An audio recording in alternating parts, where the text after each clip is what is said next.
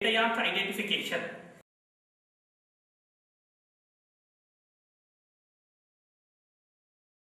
In that case, we need to take the salt solution and to that ammonium chloride and ammonium hydroxide are to be added. Now I am taking a small quantity of the salt solution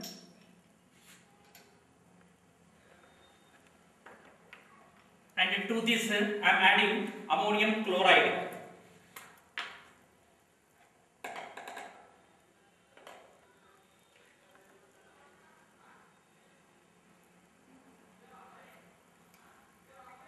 After adding ammonium chloride, then I am adding ammonium hydroxide.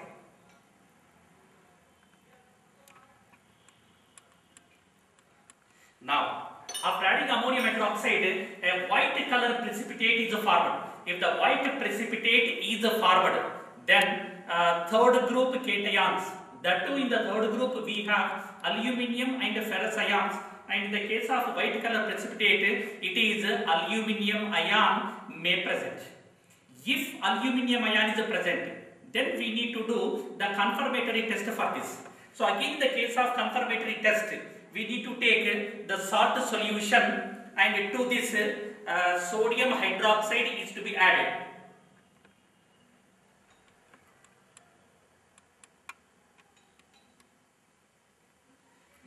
Now a white gelatinous precipitate is formed and this precipitate is soluble in excess of the reagent. So now the precipitate is formed and is also dissolved. Now aluminium ion is confirmed.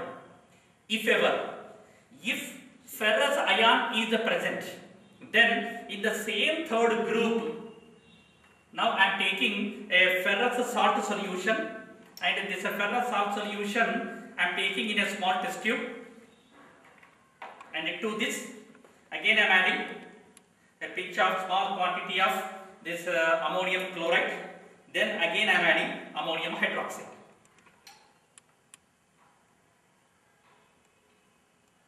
Now the light green precipitate is formed in the case of this ferrous ion. Then if ever we get this green color precipitate then we need we need to say that ferrous ion may present and we need to do the confirmatory test for this ferrous ion. In the case of this confirmatory test, we need to take the salt solution and then uh, sodium hydroxide is to be added. Now I am taking the ferrous sulfate salt solution. Now I am adding sodium hydroxide to this.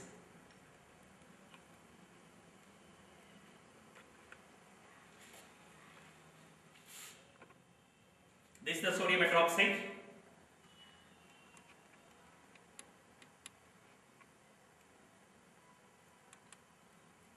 Now, a green precipitate is formed upon adding this uh, hydroxide solution to the ferrification of third group cations. That is, ferrous and aluminium ions are ferrous and aluminium ions are absent. Then we need to proceed for the identification of fourth group cations. In the case of fourth group cations, to the same solution that is solution and that is salt solution, ammonium chloride and ammonium hydroxide, we need to add hydrogen sulfide to the same.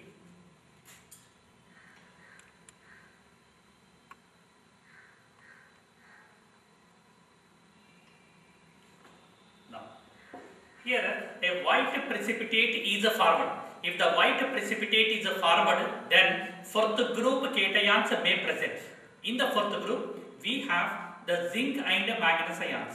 If a white precipitate is a formed, then zinc ion is present, then we need to do the confirmatory test. So in the case of confirmatory test, I am taking the salt solution and to this salt solution I am adding uh, sodium hydroxide.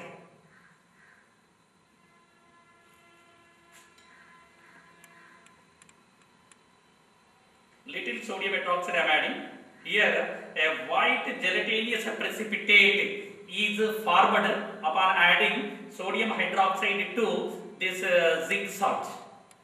If ever we add some more sodium hydroxide to this, the precipitate is dissolved thoroughly. If the precipitate is dissolved on adding excess of the reagent, then zinc ion is confirmed. Suppose in case of the fourth group, if manganese salt is present, then I am taking a manganese salt and again to this salt solution, ammonium chloride I have added, ammonium hydroxide added, then I am adding the fourth group reagent that is hydrogen sulfide in addition with ferrous sulfate, sorry, in addition with uh, ammonium chloride and ammonium hydroxide. Here a buff color precipitate will be formed. In such case, manganese ion is present. If manganese ion is present or may present, then we need to do the confirmatory test for that. Here I am taking a manganese salt and into this I am adding sodium hydroxide.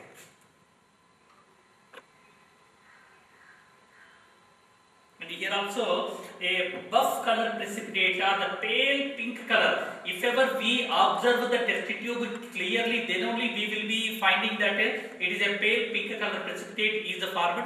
In such case, manganese ion is confirmed.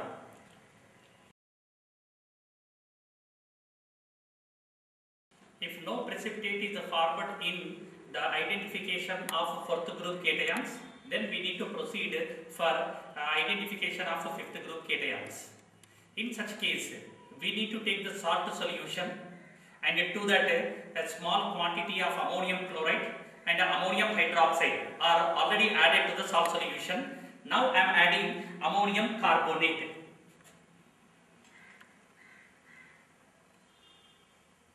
Yes. Now a white color precipitate is formed.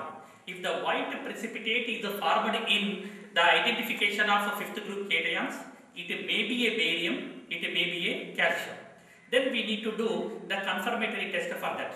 In the case of confirmatory test, I am taking the salt solution. I am taking the salt solution and to this I am adding barium chromate, potassium chromate.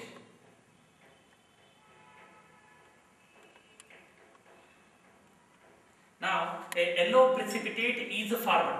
If yellow precipitate is formed, then barium ion is confirmed. If no yellow precipitate is formed, then calcium ion is confirmed. So, with this, the five groups are over.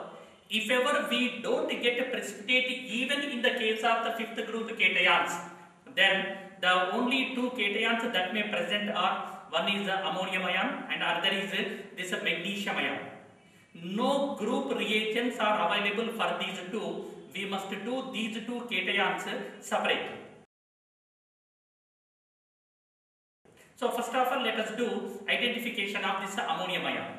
So there I am taking the salt, ammonium salt, and to this I am adding a sodium hydroxide. and if ever this test tube is uh, shaken thoroughly or is heated little bit.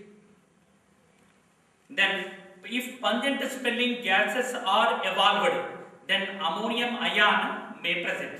If pungent smelling gases are evolved then we need to mention that uh, pungent smelling gases are evolved then ammonium ion may present.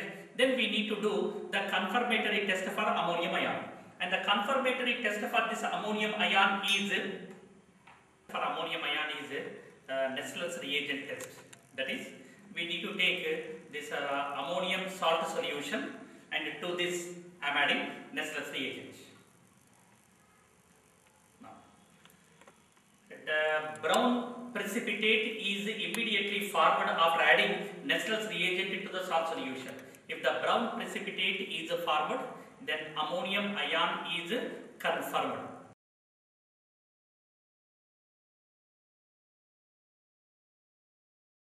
Suppose if pungent smelling gases are not evolved on adding this is sodium hydroxide to the salt, then ammonium ion is absent. Then the only cation that may present or that is left over is magnesium ion. And for that we need to take the salt solution and to that ammonium chloride and ammonium hydroxide are already added to this Now I am adding sodium hydrogen phosphate.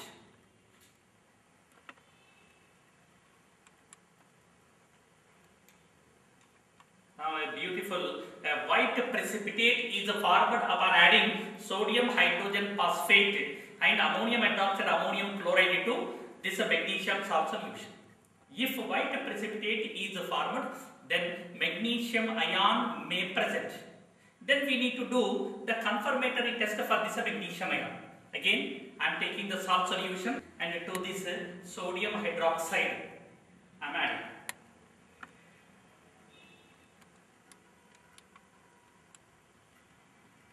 Now, a white precipitate is the formed.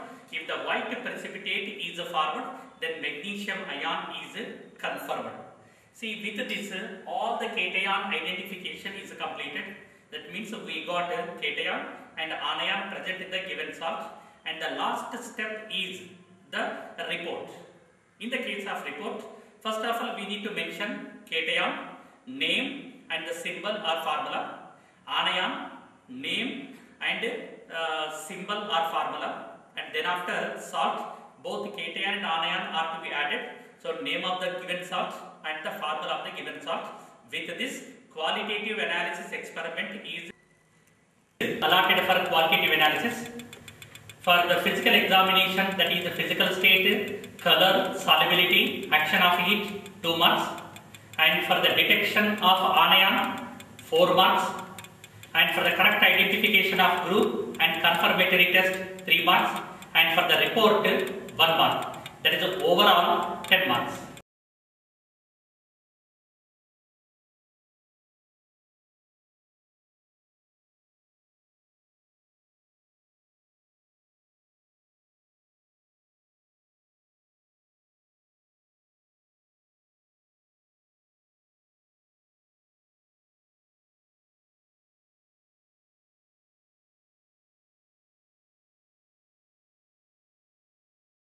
The most important thing in the practicals is you must write what you are doing in the laboratory on the paper. Normally what will happen is some students will do the experiment correctly and they will be getting the correct cation and anion but while writing they don't write all the tests which they did. So if they don't write the test which you did, though it may be a negative test, if you don't write them, then marks will not be given.